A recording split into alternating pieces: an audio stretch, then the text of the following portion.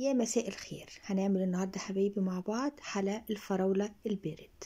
هنعملهم بمكونات سهلة وبسيطة وكلها موجودة عندنا في كل بيت طبعا إحنا في موسم الفراولة وكل الكبار والصغيرين بيحبوا الفراولة وحب الفراولة ده ما يختلفش عليه اتنين. هنعمل النهاردة من الفراولة حلوى باردة بمكونات بسيطة جدا موجودة في كل بيت. يلا بينا بسرعة نبدأ ونشوف عملناها إزاي.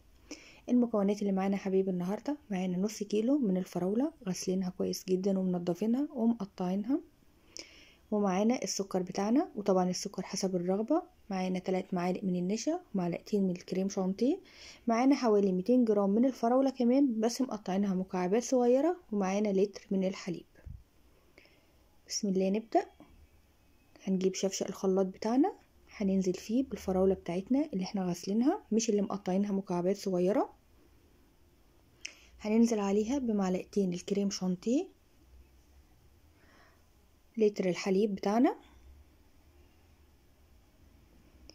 وبعدين هنحط السكر بتاعنا وإحنا طبعا عارفين إن السكر حسب الرغبة.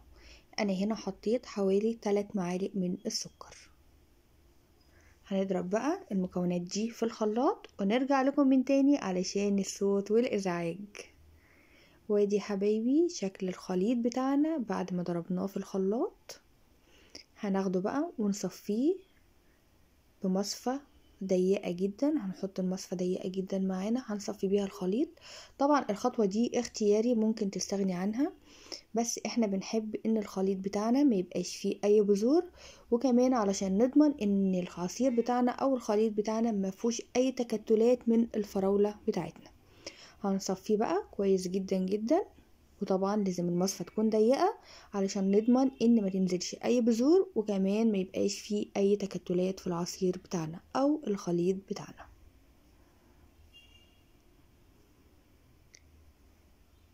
وادي حبايبي شكل الخليط بتاعنا بعد ما صفيناه شايفين لونه لونه حلو قوي رايق جدا مفهوش أي تكتلات مفهوش أي بذور. هنجيب بقى هنا مع 3 معالق النشا بتوعنا. هننزل عليهم بربع كوباية من الحليب ونبدأ ندوب النشا في قلب الحليب. طبعا إحنا حطينا النشا على الحليب دلوقتي وهنقلبه كويس جدا نفكه مع بعض وما حطيناش النشا على الخليط بتاعنا مباشرة علشان ما يتكتلش مننا علشان نضمن إن النشا كله سايل معانا مفيهوش أي تكتلات برضو. هنقعد نقلب فيه لحد ما نوصل للقوام السايل خالص اللي إحنا عاوزينه اللي هو القوام ده. هناخد بقى خليط النشا ده وننزل بيه على العصير بتاعنا واحدة واحدة كده ونقلبه على البارد. نخلي المكونات كلها تتجانس مع بعضها على البارد قبل ما نرفعه على النار. نخلطهم كلهم مع بعض بالتقليب كده زي ما أنتوا شايفين. وبعدين هناخد بقى الخليط بتاعنا ونرفعه على النار.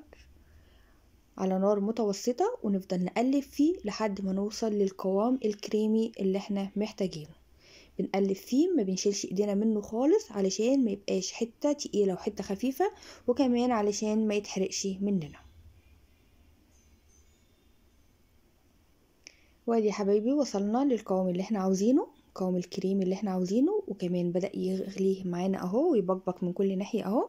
هناخده بقى وهو سخن هنفضيه في الأطباق بتاعتنا أو الكوبايات بتاعتنا اللي إحنا هنقدم فيها. هنفضيه ومش هنخلي نملى الكوبايات أو الأطباق لحد الآخر لأن لسه فيه طبقة تانية هنحطها عليه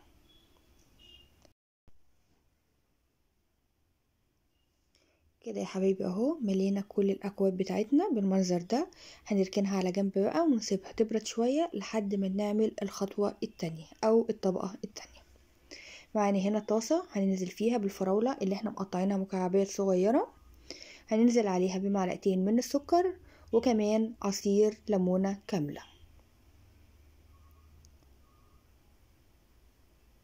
هنا حبايبي الخطوة دي بنعمل فيها صوص الفراولة اللي إحنا هنحطه على وش الأطباق بتاعتنا أو الأكواب بتاعتنا. هنقلب بقى المكونات دي في بعضها لحد ما كل السكر يغلف الفراولة اللي معانا كلها يبقى كل الفراولة متغلفة بالسكر بتاعنا. هنقلبه كويس جدا وبعدين هنرفعه على النار.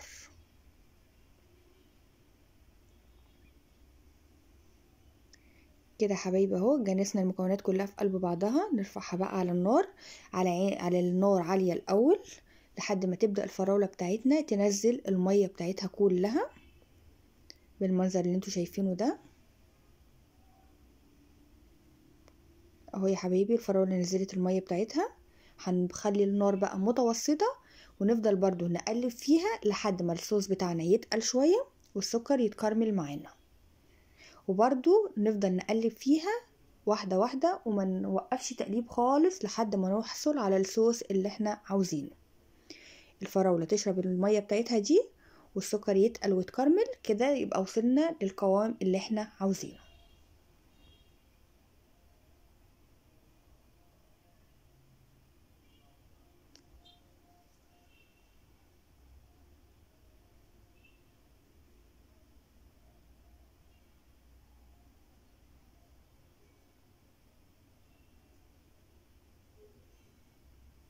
كده يا حبايبي اهو وصلنا للقوام اللي إحنا عاوزينه. اللون اغمق معانا أكتر اهو شايفين صوص الفراولة لونه حلو قوي. القوام تقل السكر اتكرمل ده صوص فراولة نقدر نستخدمه في أي حاجة في تورت نزين بيه أي حاجة. طعمه حلو قوي قوي قوي قوامه كويس جدا. ممكن نحتفظ بيه في التلاجة برضو الفترات إن إحنا ممكن نستخدمه في تزيين أي تورت في جاتوهات في كيكات في أي حاجة أنتوا عاوزينها أو محتاجينها. هناخد بقى الصوص بتاعنا ده ونحطه على وش الأكواب بتاعتنا أو الأطباق بتاعتنا.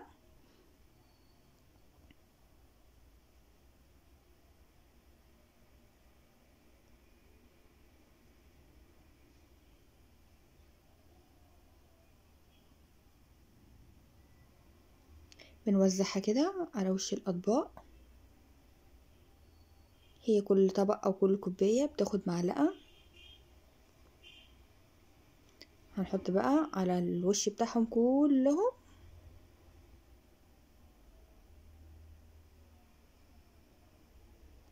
كده يا حبايبي أهو خلصنا الأكواب بتاعتنا كلها.